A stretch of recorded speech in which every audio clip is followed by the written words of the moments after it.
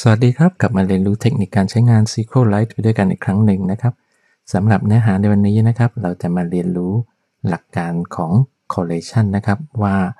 ตัว SQLite นะครับทำการเปรียบเทียบตัวข้อมูลโดยเฉพาะที่เป็น text นะครับรวมถึงการเรียงข้อมูลนะครับ จะใช้หลักการอะไรนะครับอลองมาดูตัวอย่างนะครับ อันนี้ผมมีตัวอย่างของข้อมูลนะครับ ที่เดี๋ยวผมจะ import เข้ามาใน database ผมนะครับก็เป็น มี ID ก็เป็นชื่อของเค้กนะครับ ซึ่งตรงนี้ผมสามารถไทยออกมาดูได้นะครับ cake.csv เนี่ยอันเดียวกันนะครับ เพียงแค่อันนี้ผมเปิดใน Excel อ่าเริ่มต้นมานะครับ ผมก็รันตัว SQLite 3 ของผมนะครับ แล้วผมก็ตั้งชื่อ database ให้เลยว่าเป็น db.sqlite นะครับ แล้วก็เดี๋ยวผมจะ import ข้อมูลอันนี้นะครับ ผมมา .show ดูก่อนนะครับ สิ่งแรกที่ต้องเช็คก็คือตัว separator นะครับ by default ของ SQLite จะเป็นตัว vertical bar หรือว่าตัว pipe เพราะฉะนั้นผมต้องบอกนี้ก่อนนะครับ .separator นะครับ เป็นคอมมาแบบนี้นะฮะ ถัดมาผมก็ .import นะครับ cake csv ไปที่ t1 แบบนี้ กด enter ไปนะครับ แล้วเราก็ลองพิมพ์ .schema ดูนะครับ อ่า เราจะได้ตารางนะครับ ที่ทั้งคอลัมน์ ID แล้วก็ description เป็น text ก็ไม่เป็นไรนะครับ ถึงแม้ว่า ID จะดูหน้าตาเป็นตัวเลข แต่สิ่งที่เราสนใจคือคอลัมน์ text อันนี้นะครับ แล้วคราวนี้ผมก็บอก select star from t1 แบบนี้นะครับ เราจะได้ข้อมูลนี้ออกมา เดี๋ยวผมบอกเป็นโหมดคอลัมน์ก่อนละกัน แล้วก็ header on นะครับเพื่อจะได้เห็นตัวนี้ล้วกันนะครับ อ่า เราจะเห็นอันนี้คือหน้าตาของข้อมูล อ่าคันนี้นะครับเดี๋ยวผมลองใช้ select star นะครับ from t1 แล้วก็ where นะครับ where ตัว descr นะครับย่อมาจาก description เท่ากับสมมุติว่าผมดูว่ามีคัพเค้กอยู่ไหมนะครับ ผมพิมพ์ cup แล้วก็ cake แบบนี้ดูนะฮะ สังเกตว่าอันนี้เครื่องไม่ได้แสดงออกมาเลย ตัวคัพเค้กนี่พิมพ์ถูกเพียงแค่ว่าตัวคัพเค้กนะครับ ตัว c เนี่ยผมพิมพ์เป็นตัวเล็ก แต่ในฐานข้อมูลเป็นตัวใหญ่คราวนี้เดี๋ยวผมลองอีกสักอันหนึ่งนะครับ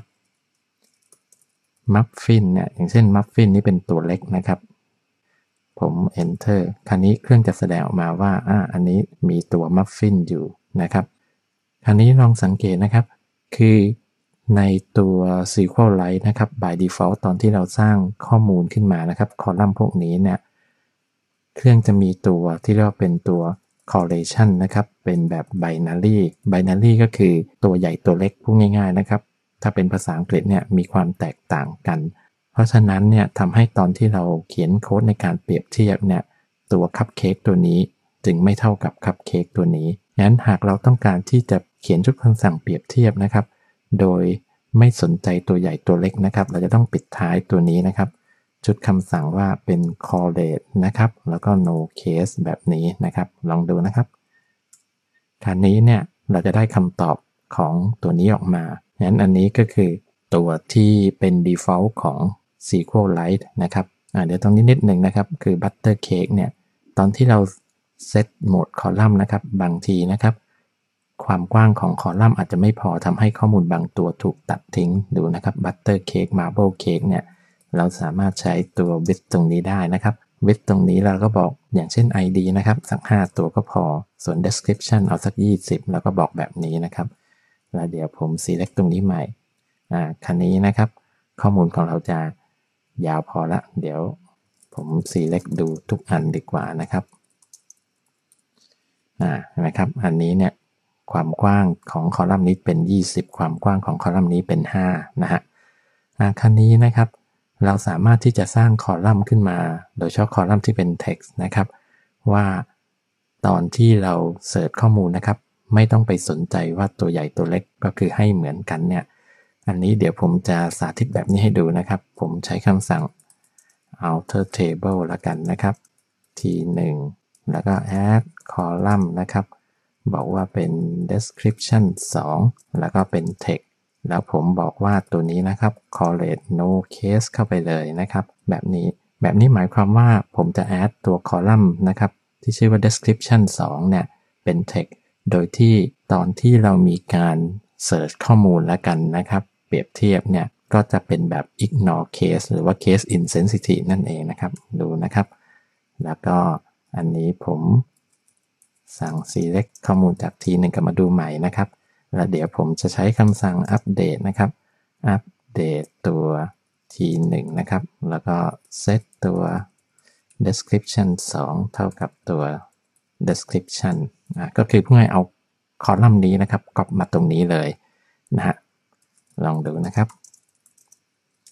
เห็นไหมครับแล้วได้ข้อมูลเหมือนกันตรงนี้นะครับ เดี๋ยวผมใช้ dot with set ใหม่ดีกว่าอ่าตอนนี้เรามี 3 คอลัมน์นะครับอ่าคันนี้มาดูนะครับ ผมใช้คำสั่ง select star from t1 แล้วก็ where description 2 เท่ากับ ดูนะครับ ครับเค้กแบบนี้นะครับ อ่าดูนะฮะ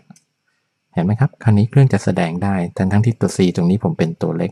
สาเหตุเพราะว่าตรง description 2 นะครับ คอลัมน์นี้เนี่ยตอนที่เราสร้างนะครับ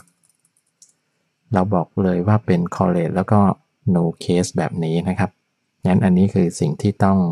ระวังนะครับ ตอนใช้งาน SQLite นะฮะซึ่งจะแตกต่างกับตัวอย่างน้อยตัว MySQL กับ SQL Server นะครับ ที่ by default เนี่ย ตอนที่เราสร้างขึ้นมานะครับ ตัวอักษรตัวใหญ่ตัวเล็กเนี่ย ถือว่า เหมือนกันนะครับ หรือว่าเราจะเสิร์ชเป็นแบบ pattern ก็ได้นะครับ